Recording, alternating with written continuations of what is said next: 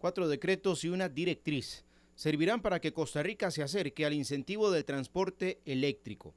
Descarbonizar la nación es parte del proyecto del gobierno de la República. Es súper importante que la gente se dé cuenta que los vehículos es prácticamente 4 a 1. El gasto que estás eh, teniendo con, cargar con energía eh, eléctrica es de 4 a 1. O sea, nosotros podemos, eh, un vehículo que tenga una autonomía de alrededor de 200, 250 kilómetros, puede ser cargado con 3.500, 4.000 colones, dependiendo de la zona donde la cargues.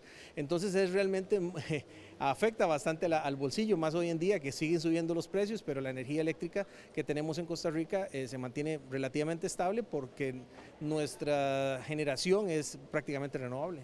Incentivos para vehículos eléctricos usados no más de 5 años de antigüedad.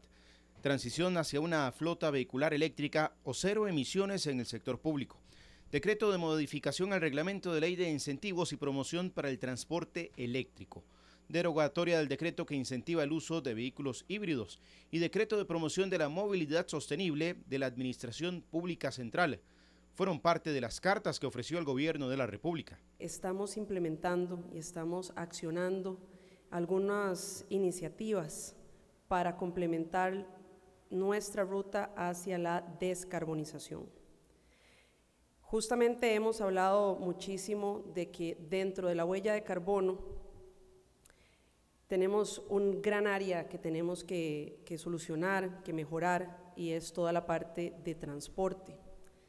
La huella que generamos en transporte, tanto, tanto el público como el privado. De esta forma, Costa Rica se acerca a la descarbonización del país.